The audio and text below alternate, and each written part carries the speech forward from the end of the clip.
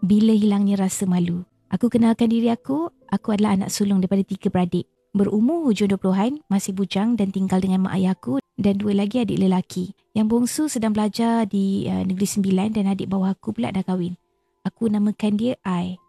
Tapi uh, Ai masih lagi duduk bersama di rumah mak ayahku ni.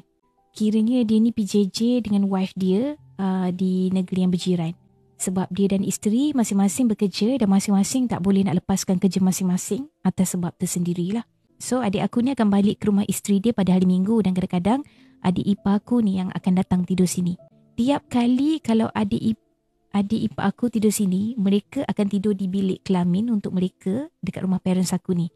Rumah kami ni kecil je, cuma ada bilik mak ayah, bilik aku dan satu lagi bilik yang sepatutnya dihuni oleh adik aku yang dua orang tu lah.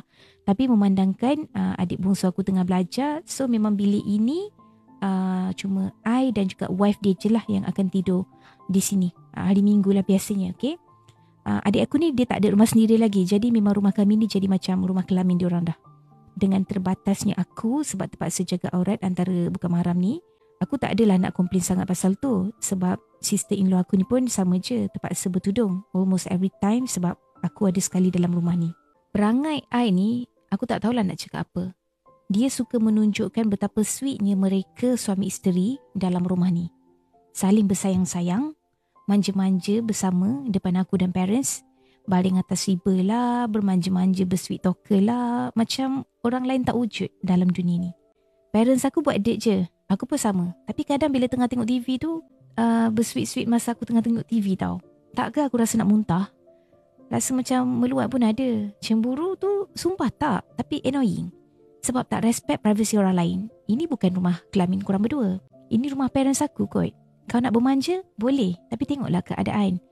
Minta maaf cakap lah. Macam tak ada rasa malu langsung dengan orang tua lagi tu. Ada satu lagi isu yang aku sebesalah sebenarnya nak type.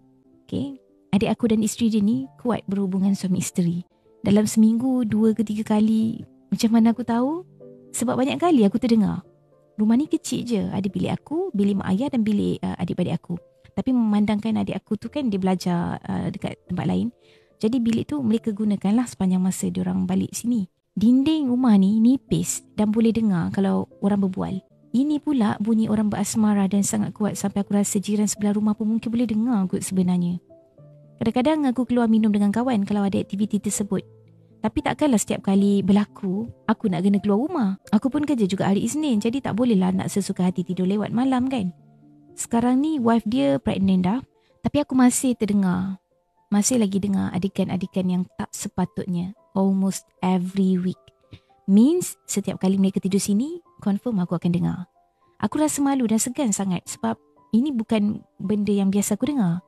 Banyak dah aku cuba alihkan perhatian. Tutup pintu, tutup telinga dengan bantal, pasang earphone, maksimum volume. Tapi aku tetap dengar paling lama setengah jam.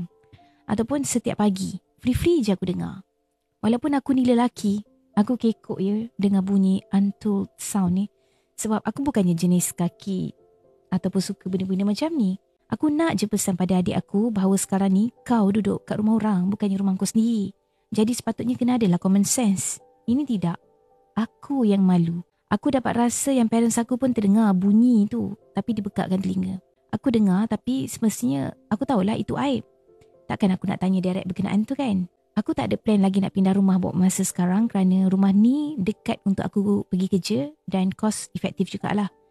Dan bukan semua lelaki suka ya adegan tak bertapis macam ni. Lelaki eksklusif masih lagi wujud. Aku shy and malu bukan nama sebenar.